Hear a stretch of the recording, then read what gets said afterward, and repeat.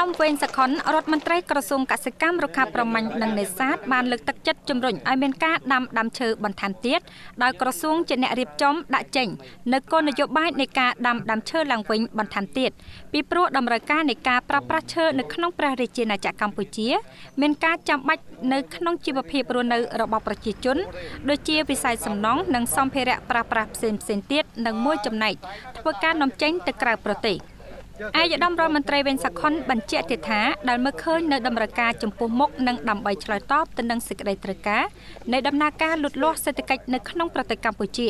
ពិសេសក្នុងវិស័យសំណង់និងសម្ភារៈប្រើប្រាស់ផ្សេងផ្សេងទៀតដូចជាគ្រឿងសង្ហារឹមជាដើមគឺចាំបាច់ណាស់ត្រូវពង្រីកនៅការដាំដើមឈើឡើងវិញបន្ថែមទៀតឲ្យសមស្របតាមតម្រូវការទីផ្សារដើម្បីជាការរួមចំណែកកាត់បន្ថយការនាំចូលពីក្រៅប្រទេសផងដែរ។ ឯកឧត្តមវេងសខុនមានប្រសាសន៍បែបនេះបានធ្វើឡើងកាលពីព្រឹកថ្ងៃទី17ខែឧសភាឆ្នាំ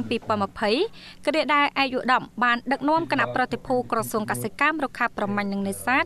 និងអាជ្ញាធរខេត្តក្រចេះរួមនឹងជំនាញពាក់ព័ន្ធចុះទស្សនកិច្ចពិនិត្យមើលពីវឌ្ឍនភាពនៃការដាំដុះនៅក្នុងក្រុមហ៊ុន Singbay Otech ដែលវិនិយោគលើការងារដាំដុះដើមឈើសម្រាប់ផលិតក្តារកងផ្លាកេនិងគ្រឿងសង្ហារិមផ្គត់ផ្គង់ទីផ្សារក្នុងស្រុកនិងក្រៅប្រទេស។ តាមការប៉ាន់ស្មានរបស់យើងគឺថាក្នុងមួយឆ្នាំមួយឆ្នាំមិនតិចជាង100,000ម៉ែត្រគីបទេហើយតែទឹកសំណង់ដែលទៅទៅការឈើនេះដូច្នេះហើយយើងឃើញថាឈើធម្មជាតិរបស់យើងគឺត្រូវបានអភិរក្សដោយក្រសួងបរិស្ថាន គឺហាមមិនឲ្យកាប់ដូច្នេះយុទ្ធសាស្ត្ររបស់វិស័យកសិកម្មយើងនេះគឺត្រូវតែធ្វើការដាំដើមឈើដើមឈើឡើងវិញដើម្បីឆ្លើយតបនឹងសេចក្តីត្រូវការរបស់កម្ពុជា ក្នុងដំណើរការរីលូតលាស់សេដ្ឋកិច្ចកម្ពុជា ដែលយើងបានឃើញនៅទីនេះគឺ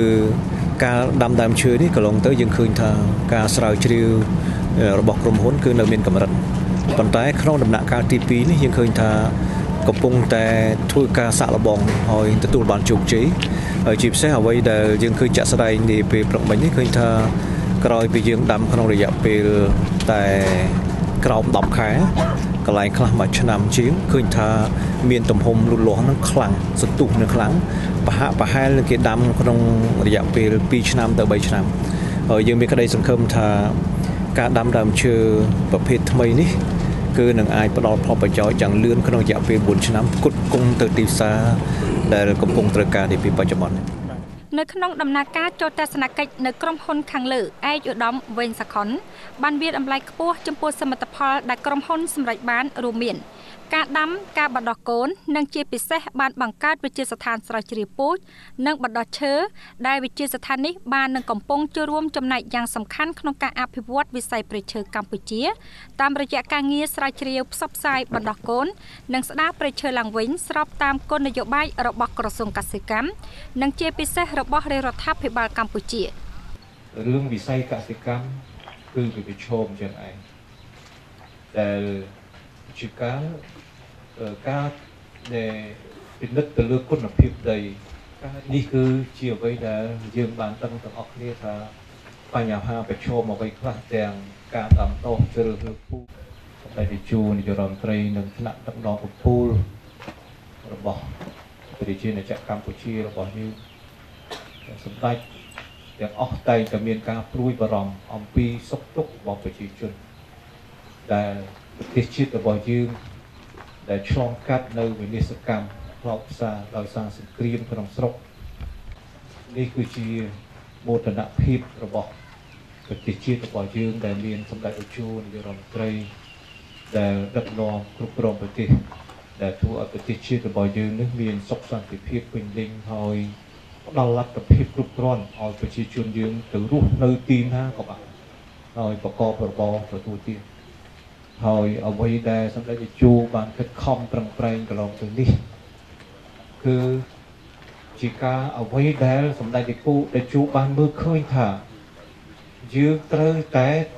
ធ្វើការអភិវឌ្ឍតាមអ្វីដែលជាយុទ្ធសាស្ត្ររបស់ប្រទេសនីមួយនីមួយជាពិសេសសម្ដេចតេជោបានមើលឃើញថាយើងធ្វើអីក៏ដោយទើបគេដឹងថាសេចក្តីត្រូវការនៃទីផ្សារ របស់គេយ៉ាងដូចម្ដេចពូជអ្វីដែលត្រូវផលិតឆ្លើយតបនឹងសេចក្តីត្រូវការទីផ្សារការកែច្នៃការរៀបចំវេចខ្ចប់រួមទាំងការដាំដុះផងដែរទ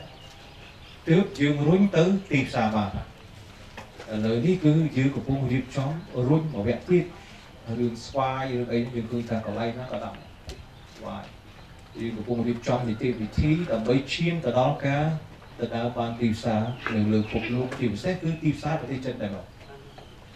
ដោយឡែកឈើអញ្ចឹងដែរយើងមិនមែនចេះតែកាប់ឈើពីធម្មជាតិនោះទេព្រោះសេចក្តីត្រូវការរបស់យើងនេះច្រើនហើយយើងគិតអំពីនៃការនាំចេញឈើក៏ដូចជាការគុតគង់នៅក្នុងស្រុករបស់យើងឯកឧត្តមបញ្ជាក់ថាការដាំដើមឈើពេលកន្លងទៅ គឺដោយសារការស្រាវជ្រាវនៅមានកម្រិត ប៉ុន្តែនៅក្នុងដំណាក់កាលទី2នេះគឺកំពុងតែធ្វើការសាកល្បងហើយឃើញថាទទួលបានជោគជ័យហើយអ្វីដែលឃើញជាក់ស្ដែងនៅពេលនេះគឺការដាំដើមឈើរបស់ក្រុមហ៊ុនបានប្រើប្រាស់ពេលវេលាប្រមាណជាជាង10ខែ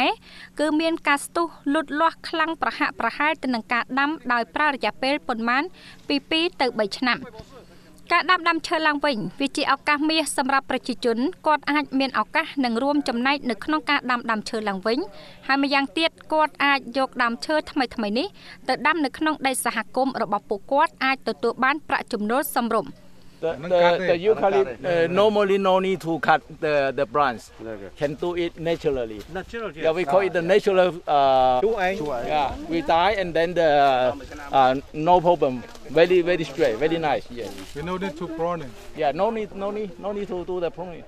តាមរយៈបទពិសោធន៍កន្លងទៅឈើប្រភេទចាស់គឺអាចប្រមូលផលបែងចែកក្នុងមួយឆ្នាំទទួលបានផលប្រមាណជាង1000ដុល្លារសហរដ្ឋអាមេរិក។ ហើយឱកាសល្អសម្រាប់ពួកគាត់គឺថាទីផ្សារនៅក្បែរខ្លួន គឺពួកគាត់អាចយកកូនឈើថ្មីថ្មីទៅដាំហើយនៅពេលប្រមូលផលបាន គឺយកមកលក់ឲ្យក្រុមហ៊ុនវិញហើយទទួលបានប្រាក់ចំណូលក្នុងដំណាក់កាលនៃការរីករាលដាលជំងឺ Covid-19 នេះ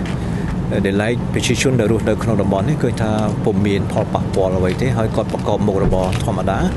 ហើយអ្វីដែលជាការបើកបេះដូងរបស់ក្រុមហ៊ុនគឺថា ស្វាគមន៍ចំពោះប្រជាជនក្នុងការយកពូជដើមឈើប្រភេទថ្មីនេះយកទៅដាំទៅតាមលំនៅឋានក៏ដូចជាដីរបស់គាត់អាចចូលរួមចំណែកដែលប្ររកប្រាក់ចំណូលរបស់ប្រជាជនហើយខ្ញុំក៏យកឱកាសនេះផងដែរសូមឲ្យសង្គមស៊ីវិលទាំងអស់មានការយល់យោគហើយចូលរួមសហការឲ្យបានពេញលេញកុំឲ្យប្រែคลายនៃផែនការនៃការដាំដុះព្រៃឈើរបស់យើងនេះទៅជាអ្វីដែលប្រឆាំងជាមួយរដ្ឋាភិបាល ព្រោះយើងមើលសេចក្តីត្រូវការរបស់យើងច្រើនណាស់នៅពេលខាងមុខដើម្បីជំរុញកំណើនសេដ្ឋកិច្ចរបស់កម្ពុជា យើងមិនត្រូវតែធ្វើមួយជ្រុងទេយើងត្រូវធ្វើគ្រប់ជ្រុងនៃវិស័យកសិកម្មទាំងអស់ដើម្បីផលប្រយោជន៍និងជំរុញកំណើនសេដ្ឋកិច្ចរបស់កម្ពុជាហើយទន្ទឹមនេះក៏យើងត្រូវគិតអំពីប្រាក់ចំណូលរបស់ប្រជាជនផងដែរអ្វីដែលអាចប្រជាជនអាចធ្វើទៅបាន គឺយើងគួរតែរុញគាត់ឲ្យគាត់ទទួលបានប្រាក់ចំណូលគ្រប់គ្រាន់ហើយសំខាន់បំផុតនោះគឺ ក្រសួងកសិកម្មរុក្ខាប្រមាញ់នេសាទគ្រប់គ្រងពេញទំហឹងនៅការនៃអភិរក្សតំបន់ព្រៃឈើរបស់យើងហើយក្រសួងតែងតែមានការណែនាំជាប្រចាំទៅដល់ក្រុមហ៊ុនគឺមិនឲ្យប៉ះពាល់ទៅតំបន់អភិរក្សទេ